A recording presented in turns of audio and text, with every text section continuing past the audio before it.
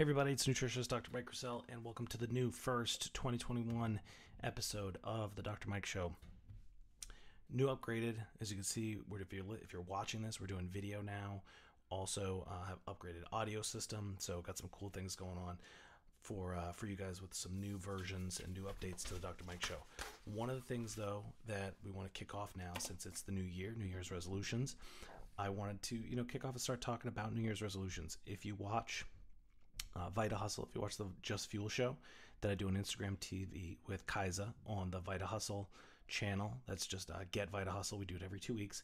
We did a great show prior to Christmas and New Year's uh, and the holiday season about New Year's resolutions. And I feel like we just scratched the surface. So you can check that out on Instagram. Uh, if you go to the Vita Hustle channel, you can see it on um, their Instagram TV through their IGTV.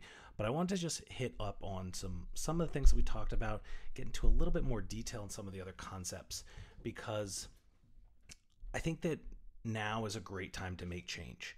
And there are two there's two real camps that you'll find when it comes to New Year's resolutions. There are people who are really pushing New Year's, new change, new you, that sort of stuff, and then there's a, an anti New Year's resolution crew, which is really pushing against making those changes. You know, you don't need to do it now. You should make changes all the time, et cetera, et cetera. One of the things I really want to make a concerted effort to help serve and help you moving forward now is to really focus, I think, more on the positive. I saw this really interesting article about a month or so ago, and it was about, I think the person was a pathologist. Um, maybe not a pathologist, I can't remember, maybe a gastroenterologist. The person was a physician, but it was totally not related to infectious disease. And what this person did, I believe it was on TikTok, was they they built incredible momentum, views, and a following by explaining and talking about what was going on with the coronavirus and the COVID vaccine in a really positive way. And you know, the point of the article was that by spreading good news, you can actually reach a lot of people. That it doesn't have to be anti myth busting, all that sort of stuff, which is really very popular and, and kind of a, a strategy that people use to, to outreach people, the, the debunk crew. And I think the debunking thing is totally fine. But one of the things that really resonated with me when I read that was one of my core nutritional principles is to focus on the do's and not the don'ts. That everybody knows what they not what they shouldn't do, right? When it comes to food, you know the foods that you shouldn't be eating. But how do you do the things that you should be doing? That's the difficult part. And so when I was reading this article about this physician, you know, that really clicked with me Mike, you need to focus more on the do's if you want to help more people. So I really want to help you 2021 and beyond. I know that a lot of you have been on this this ride, this Dr. Mike ride since 2005, 2004, right? So a long time.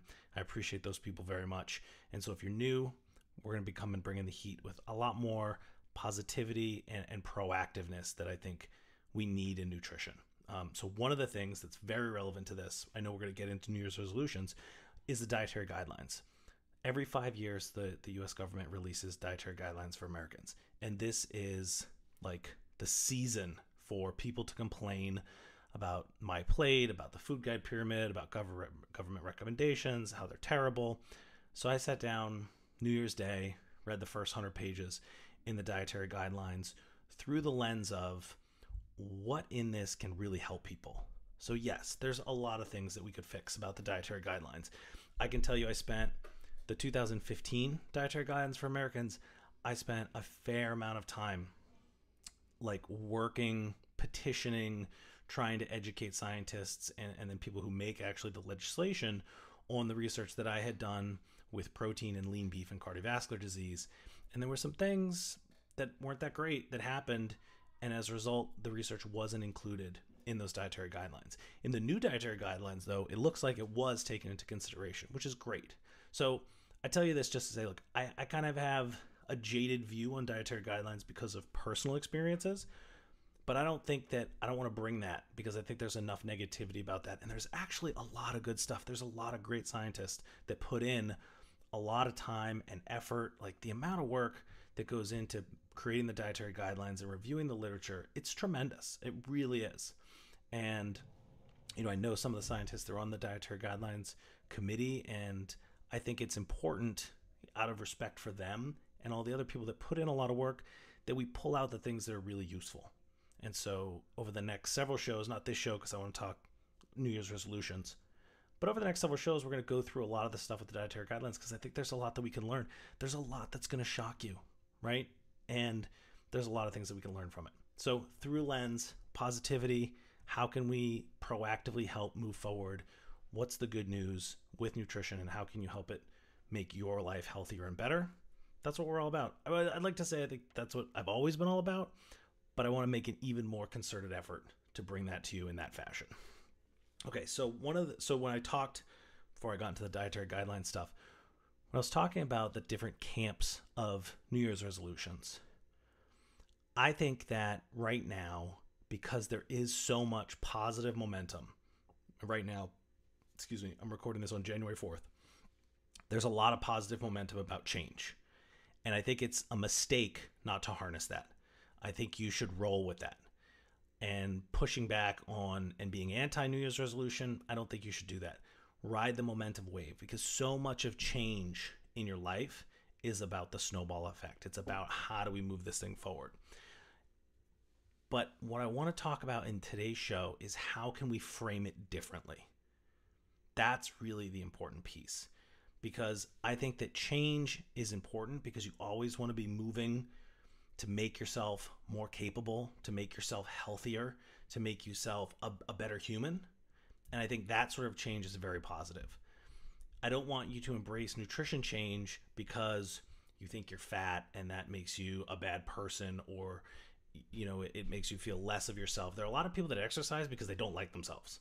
And it's like this self-flogging. I'm not about that. I don't want you to starve yourself, go on all sorts of whatever the diet is so you can create a different physical version of yourself that you think is going to be better.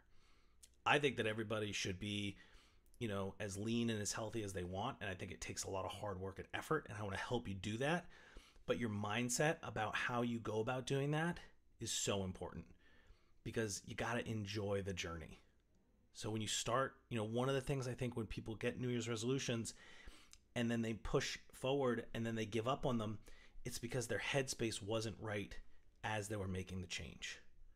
Right? And I want this to be positive. Yes, you got to give up things. You can't. Dietary guidelines, here a great example. Dietary guidelines say the most recent ones, I think it was the same as actually in 215, that an adult male could have one drink a week. Chances are, if you want to lose weight, you can't have one drink a week, right? There are things that you're going to have to do. You got to go to bed early.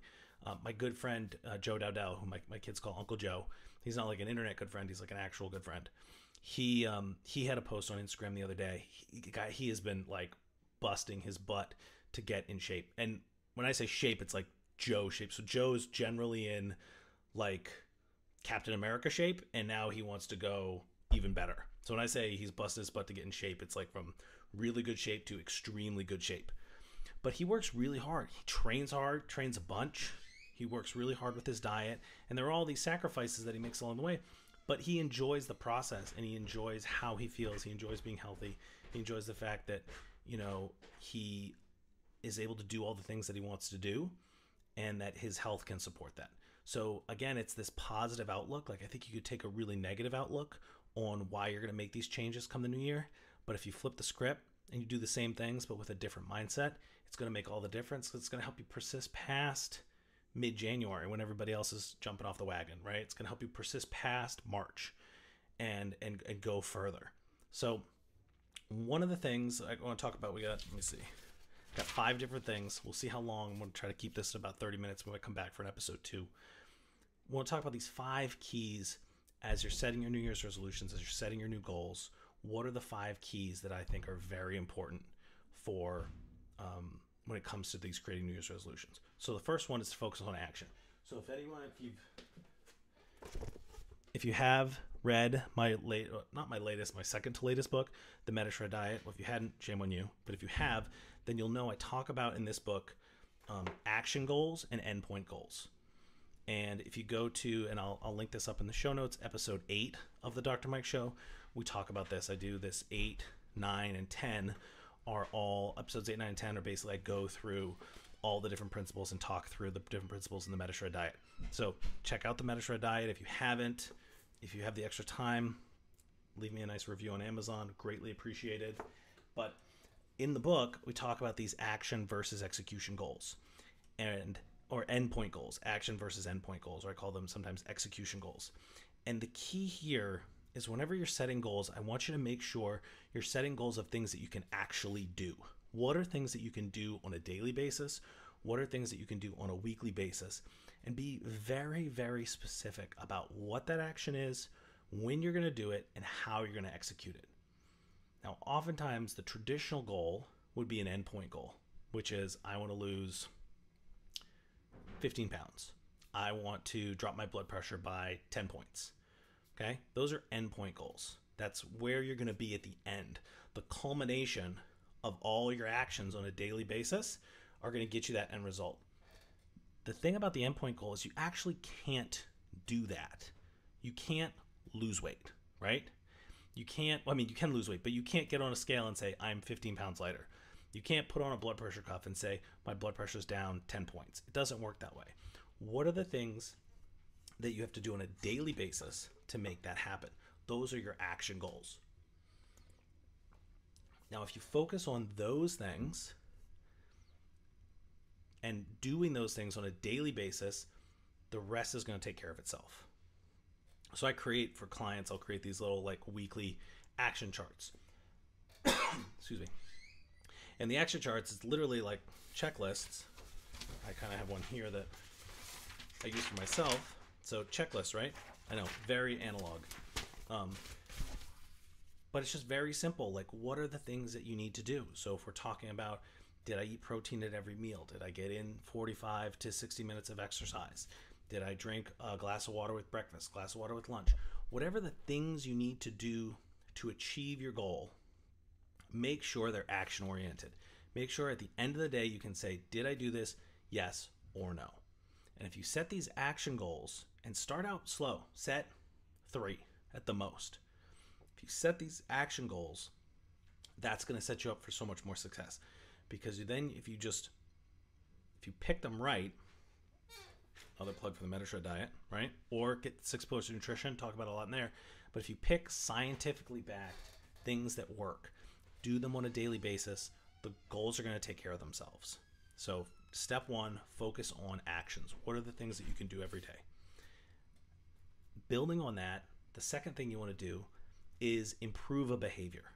So, oftentimes, and with nutrition, it's actually easy. So, if you wanted to, if you've never played the guitar before, and you wanted to learn how to play the guitar, that was your New Year's resolution, right? It would be difficult to, to implement this because it's you want to improve on a behavior. If you've never played the guitar before, you can't become slightly better guitar player because you're starting from scratch.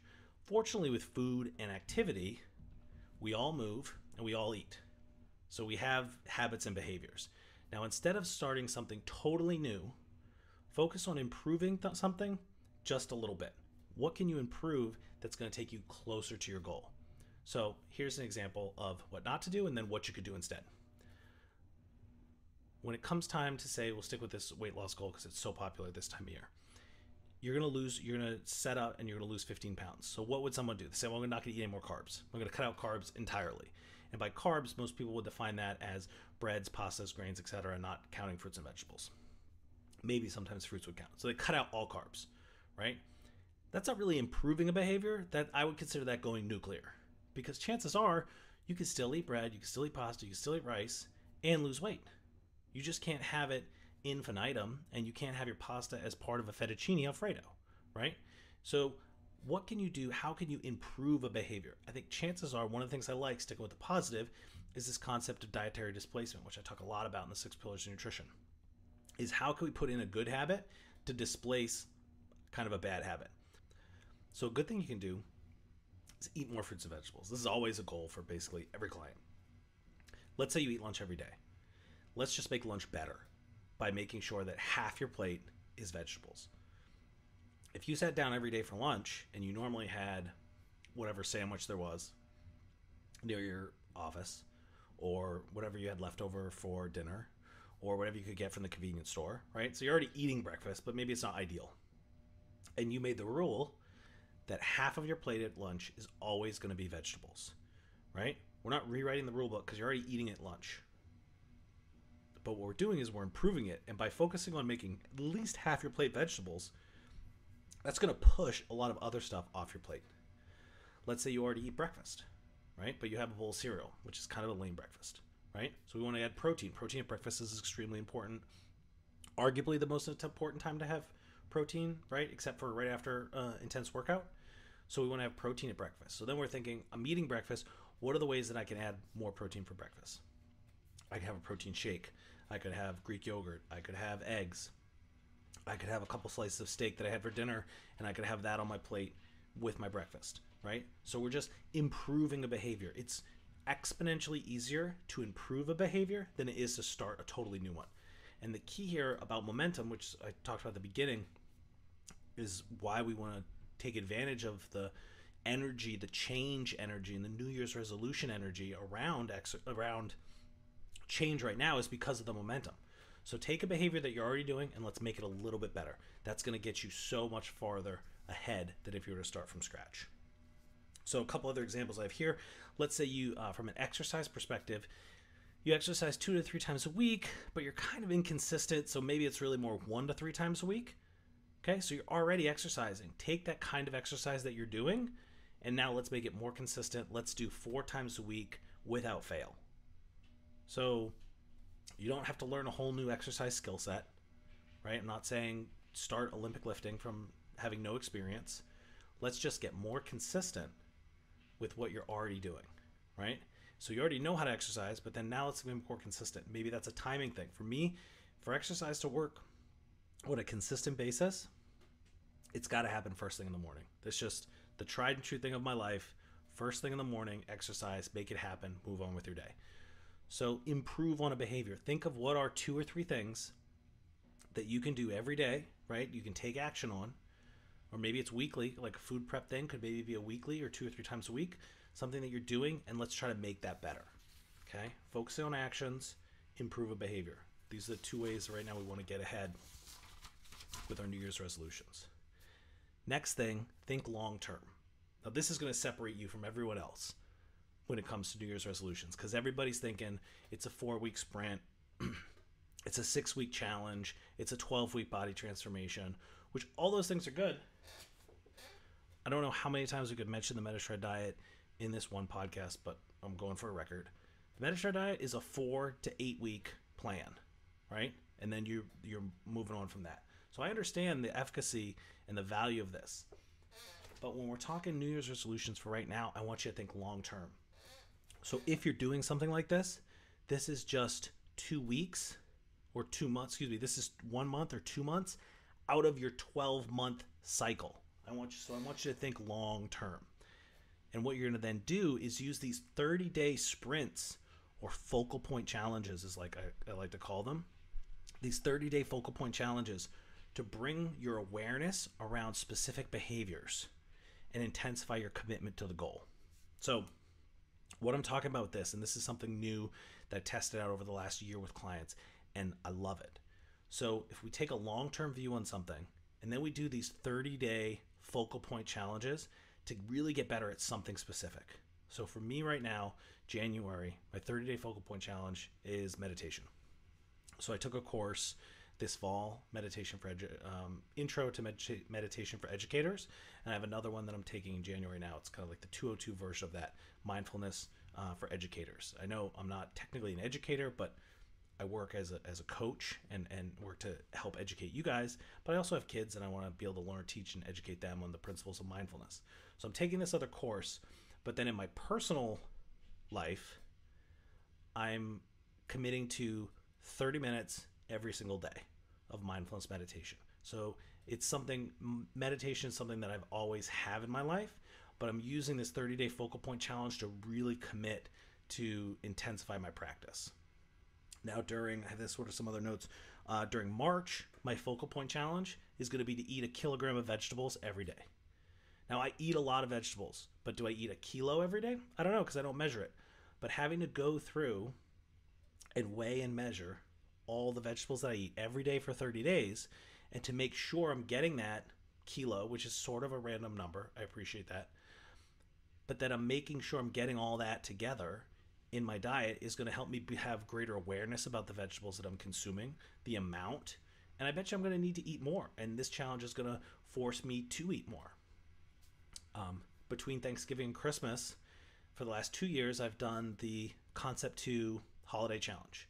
We rowed 200,000 meters in that time span, right? That's another time point where really I focus on my aerobic conditioning and that commitment. So if we use these, my overall goal is my overall goal is kind of to be Captain America, for lack of a better term. So it's not weight loss necessarily oriented. It's not health oriented. Like I want to be fit and strong and healthy as possible. I want to be able to be active and, and well into my 90s. And if my kids or my wife, my family needs me to do anything, I want to be able to do it physically.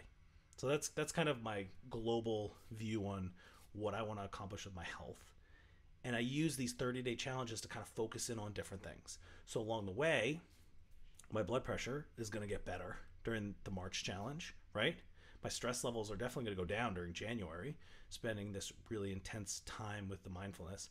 So we take these focal point challenges and you allow it to hone your skills in a specific area, but keep that big global view. So, what is it that you want to accomplish with your health over the next year? And then, how can you focus? Because I mentioned earlier, I only want you to focus on two or three habits, these action things at a time. You can tell for me, for January, my thing is just one thing, is really my main focus, is that, excuse me, is the mindfulness. So, what is the two or three things that you can focus on at a time, and then pick one or two of those to really intensify every 30 days. And then the next month, you pick a couple different habits and really focus and intensify on one. And what you're going to do is you're going to build month after month after month to get better. Why I think this works so well is I can liken it to um, I've taken biochemistry a lot. So I took biochemistry as an undergraduate, like my, I have a degree in chemistry with a focus uh, on biochemistry. Then I went to medical school, basically did all the academic schoolwork of medical school, so biochemistry there. Um, left medical school because I wanted to get my PhD, so I took classes. I was at the University of Vermont Medical School, so I took classes in the nutrition department. Took some biochemistry, took a biochemistry class there. It was like kind of weight loss biochemistry. Went to Penn State, had to take. Um, I didn't have a technically a degree in nutrition, so I had to take some undergraduate level classes, another biochemistry class there, took a, a graduate level biochemistry class, took actually another biochemistry class uh, specifically focused on uh, prostaglandins and eicosanoids, which are the short lived hormones that the long chain omega 3 fatty acids get converted into, right? So it's a lot of biochemistry, more than most people would want to take. And do I remember everything from it? No. But every version of biochemistry I took was a little bit different.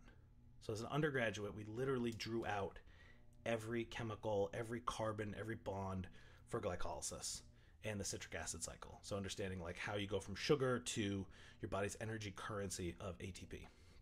Every carbon, every bond, all that stuff. Very detailed. Medical school you learn it a little bit different. Graduate school you learn it a little bit different.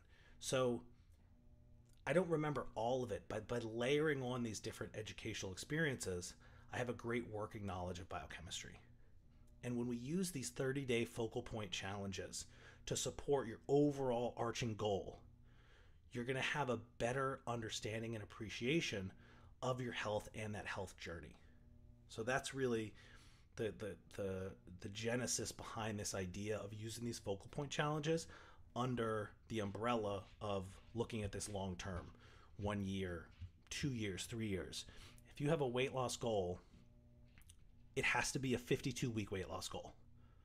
I don't want to hear I want to lose X pounds in four weeks, eight weeks, 12 weeks, by my birthday, which is four months away. None of that. Where do you want to be a year from now? Take it slow or take it fast, but have the your end point be a year from now, not 28 days from now. Because that's going to allow you to persist a long time. It's going to allow you to get better habits because you're in this body forever right? So how can you take? I'm sure in the, right now maybe you have some New Year's resolutions in your mind. How can you take whatever the timeline you're thinking of and expand it to 52 weeks? Right? Do that, and it's really going to start sticking, and you're really going to start making some great changes. Last thing, oh no, four, four and five. We're going to just keep going here. We're not going to we're not going to do this in a second show. I want you to take into account other areas of your life. So it's really important. I gave this, I used to give this talk called Unlimited Willpower. And, you know, was to help people get the mindset and wrap their head around the mental aspect of making chains and harnessing willpower. And willpower is is super interesting because it's like a muscle, right? I'm, I'm sure you may have heard this analogy. The more you use your willpower, the more you strengthen it. But there's also, because it's like a muscle, it can also fatigue. If you kind of test and push your willpower too much, then it can give out.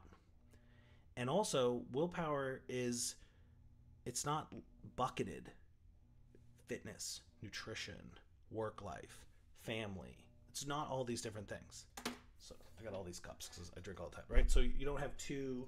There's another. I could get three more coffee cups. Like it's not all these things. It's one. You have one thing of willpower, and if you use this much of it for fitness, you got this much left for the rest of your life. Not like the not like eternally the rest of your life, but the other areas of your life. For those of you listening and not watching, I apologize you missed the hand waving and um, and gesturing with the jars. But basically, think of your life and your willpower as a glass of water, and it's full because the glass is always half full, right, or totally full. But then as you start pushing yourself in different areas, it only it removes the willpower you have for other areas of your life. And if you've ever not achieved a goal, which I hope you haven't, because if you're achieving all your goals, you should set the sights higher, right? But if you've ever achieved a goal and then kind of beat yourself up about it, is it because you didn't do certain things or were you asking too much of yourself because there were all these other things going on in your life? Like you can't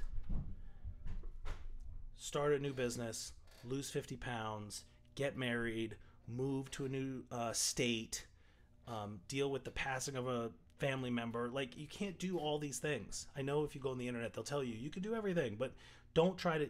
You could try. Don't try to do everything. It's gonna drive you crazy. And Kaiser and I were talking about this on the the Just Fuel New Year's resolution show that there are these seasons of your life, and during certain seasons you're gonna be able to focus on certain things. Now is a great season, hopefully for you, for health, fitness, nutrition, right? Because there's a lot of momentum behind that. But maybe it's not. Maybe you're dealing with a bunch of other stuff, and you can't put all your effort into your weight loss and your nutrition and your fitness goals.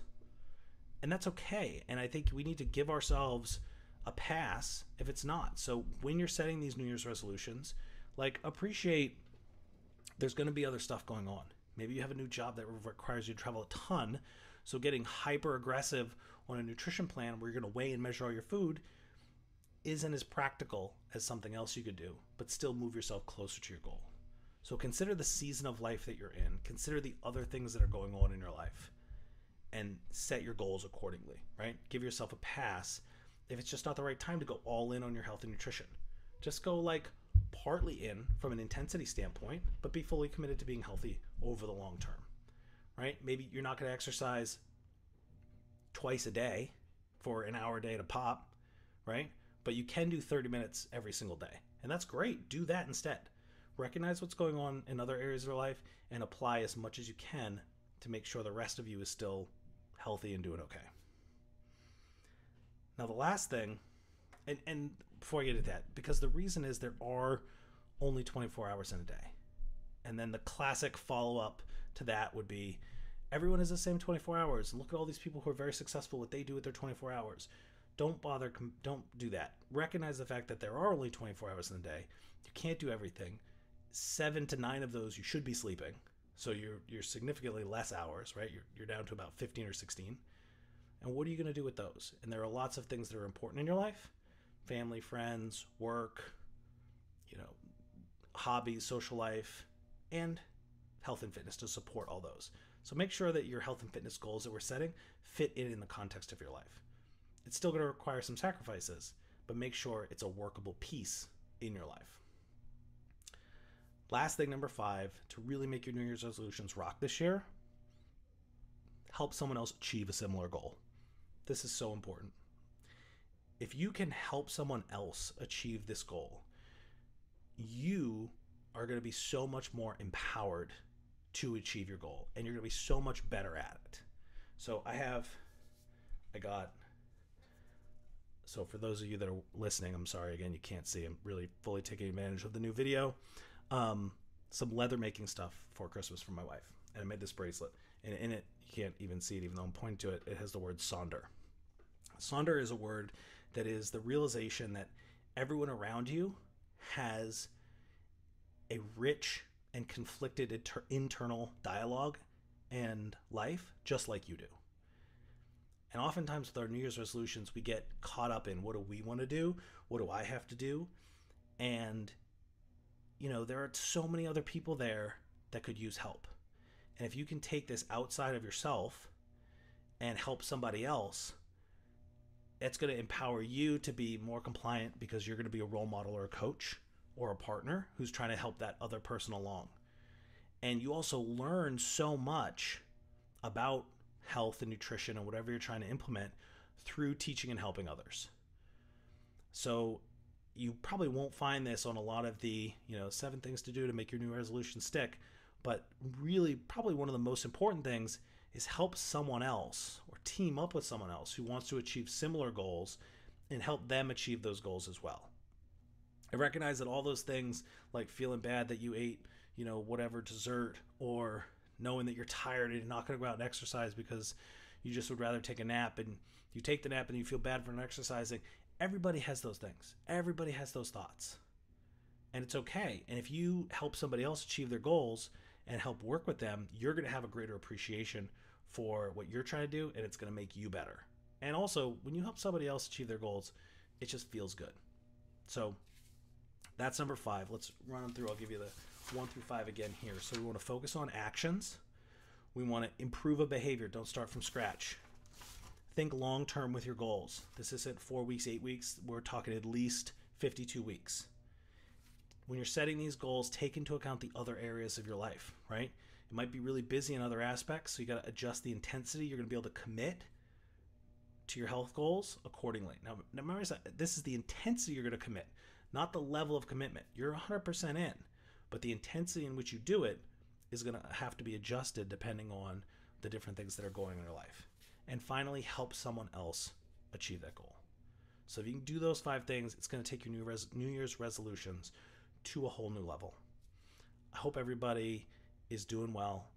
I know 2020 was wild. We're going to get back out now, 2021, and hopefully it's going to be a little bit more some more normalcy for everybody.